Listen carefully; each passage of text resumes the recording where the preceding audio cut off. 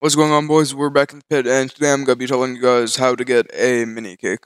Okay, so, okay, first step I'd say is getting a cherry. A cherry, it, it just kind of looks like an apple, and it's like a 1 in a 100 drop on this map. So either you could kill 100 players, or buy it from someone for like 500 gold.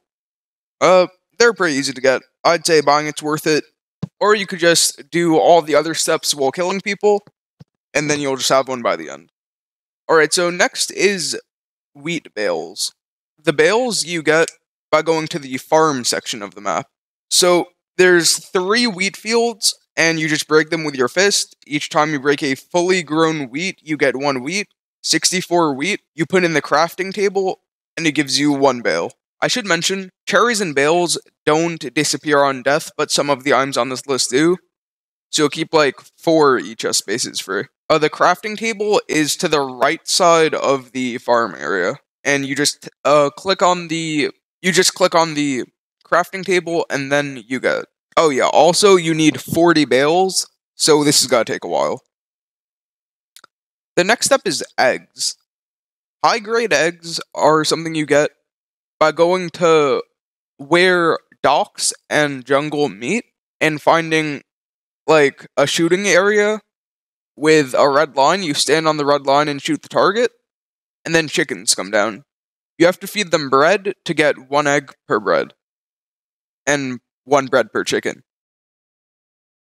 Uh, to get bread, you just get a stack of wheat and go to the furnace by the wheat farms.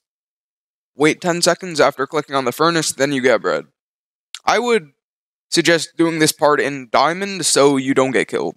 Because bread do- because you lose bread on death, but not the eggs. And doing all six in one in chainmail is risky and sets you back a lot. The next step is sugar. Next to where you make bread, there is melons.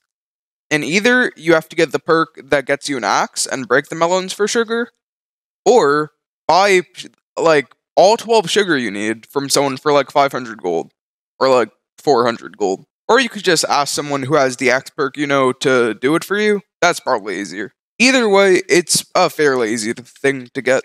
After that, you're going to need milk. Milk is by far the hardest one to get, especially on an early day of the King's map.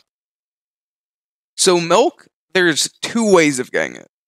One is going in the sewers and finding the chest that randomly spawns, then respawns every time someone loots it. There's a low chance of getting milk, and you're gonna need two milk. The thing about milk is that it despawns when you die.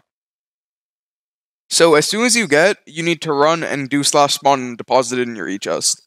On the early days of the map, there's always someone in diamond camping the sewers, and sometimes on the later days too. So it's really risky to do, even if you're a higher prestige like me at prestige six, because I've been dropped three times today. So I ended up getting one from the sewer, barely escaping, then buying the last one for a vial. On days on the first day of the map, you could probably buy milk for like 6k. But if I were you, I'd wait till you get the renown done for the quest, then just buy it for like 2k. Try getting one milk on your own, but if you can't, it's worth the 4k is worth it. It's pretty hard to get. And then the last step is go to the baker. The baker isn't in the same spot on every map, and if you're watching this at upload or in the wake of that, right now it's at the building with the ladder in it, the brick ladder in city. But if not, just ask someone in game. Anyways, I got uh my anyways, I got my cake done in like three hours, and that's wearing diamond the whole time, so yeah.